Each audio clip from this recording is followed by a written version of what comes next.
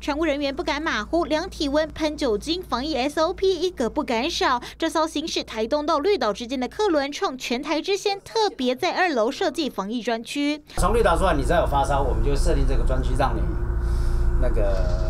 在这一块区域作为管制区块，不止通风设备独立，全新大座椅、活动隔离板一应俱全，上下船的动线也特别独立出来，全由船的前方进出，绕行船后从驾驶台走侧门进来，完全不会接触到一般乘客。温度超过三十七度，我们就不管它。身体状况怎么样，一定要到隔离楼层啦。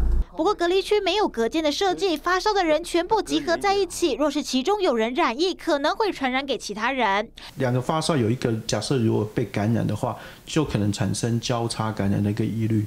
所以正如果是要比较严谨的一个隔离发烧的一个。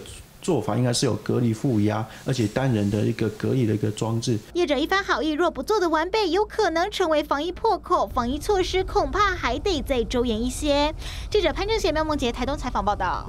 中天新闻不会消失，只会更强大。